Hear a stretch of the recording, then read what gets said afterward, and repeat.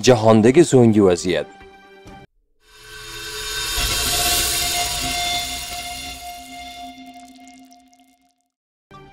Donald Trump va Vladimir Zelenskiy bugun telefon orqali muloqot o'tkazish rejalashtirilgan. Bu Zelenskiyning Trump Oq uyini tark etgandan beri u bilan o'tkazgan birinchi telefon muloqoti bo'ladi. Manbalarga ko'ra, tomonlarda telefon orqali muloqotni tashkillashtirish vaqtini belgilash bo'yicha munozara bo'lib o'tgan. Shuning uchun ham hali ham rejalar o'zgarib qolishi mumkin.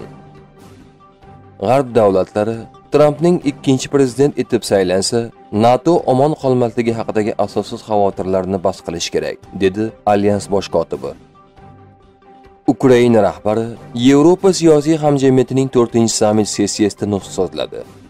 Zelenskiy Londonda o'tkazilgan sammitdagi nutqdan asosiy iqtiboslar Biz bu urushni diplomatiya va qurol kuchi bilan tugatishimiz mumkin. Putin kuchli yetakchilar bilan munosabatlarni saqlab qolmasligi uchun biz uzoq muddatli tinchlikka intilamiz. Birdamlik bizning ustun tomonimizdir. Putin vasvasaga solishga yoki bosim o'tkazishga urinish orqali birligimizni zaiflashtirishga urinmoqda. Rus qo'shinlarining Xarkov viloyatidagi yangi front ochishga urinishdan keyin ittifoqchilarimiz tomonidan Rossiyaning chegara yaqinidagi hududlariga zarbalar berishimizga ruxsat berish qarori hech qanday keskinlikka olib kelmadi.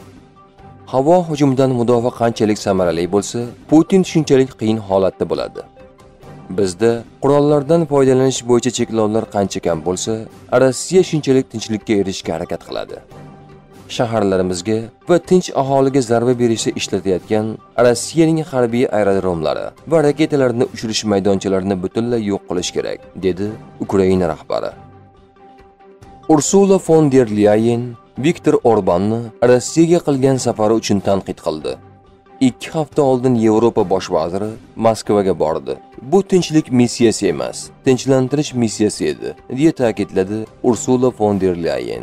U Orbanning ismini aytmadi, lekin Vengriya elchisi Odor tomoshabinlar orasida unga kamera qarshisida o'tirardi. Chunki Yevropa parlamenti uning so'zlarini olqishlashdi. Rossiya Yevropaga pul tikmoqda. G'arb yumshoq bo'lib bormoqda. Yevropadagi ba'zilar esa u bilan birga o'ynayapti. Yevropa qancha vaqt kerak bo'lsa, shuncha Ukraina bilan birga bo'ladi, deya qo'shimcha qildi Ursula von der Leyen. Vengriya bosh vaziri Viktor Orbanning ta'kidlashicha, uning Ukraina bo'yicha tinchlik tashabbusi yaxshi ketmoqda va avvaldan rejalashtirilgan barcha choralar ko'rilgan. Germaniya mudofaa vaziri Boris Pistorius AQSh raketalarining Germaniyada joylashtirilishi Kaliningrad viloyatida Iskandar raketalarining joylashtirilishiga javobdir. Sahal Livanga istalgan vaqtda hujum uyushtirishga tayyor. Isroil mudofaa vaziri Yoav Gallan Uning so'zlariga ko'ra, hammasi Livanning Hizbulloh guruhi harakatlariga va keyingi muzokara jarayoniga bog'liq. Rossiya kelasi yilda mudofaaga o'tishi mumkin. Ekonomist nashri.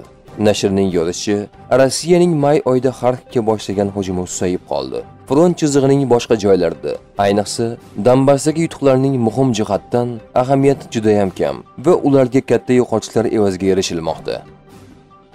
Endi savol Ukraina kurashni davom ettira olishi yoki yo'qligida. Shuningdek, Rossiya o'z amaliyotlari suratini qancha vaqt ushlab turishida. Keng miqyosli urushning dastlabki 2 yilida Rossiya 3000 ga yaqin tank va 5000 dona boshqa turdagi zirhli texnikasini yo'qotdi, deb yozmoqda gazeta. Yevrokomissiya Ukrainaga 4.2 milliard yevrolik yordamning yangi transhini tasdiqladi. Bu haqida Yevrokomissiya rahbari Ursula von der Leyen ma'lum qildi. Yordam paketi Yevropa ittifoqi kengashi tomonidan ma'qullangach, Ukraina uchun jamg'arma doirasida ajratilgan mablag'larning umumiy miqdori 12 milliard yevroga yetdi.